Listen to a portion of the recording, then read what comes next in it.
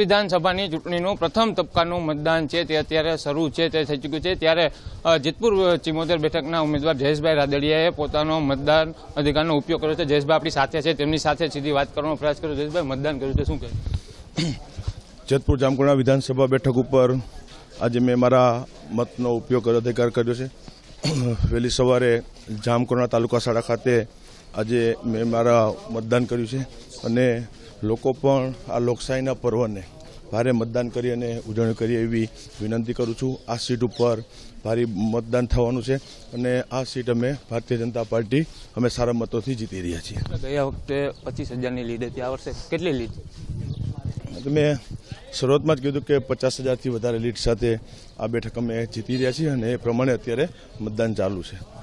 આ હતા ભાજપના ઉમેદવાર જયેશભાઈ રાદડિયા કે જેઓએ પોતાના મત અધિકારનો ઉપયોગ કર્યો છે અને તમામ લોકોને પણ મતદાન કરવા માટેની અપીલ કરી છે અને જંગી લીડથી જીતશે તેવો આશાવાદ વ્યક્ત કર્યો છે. નરેશ બાલિયા જી ચોવીસ કલાક જામકંડોરણા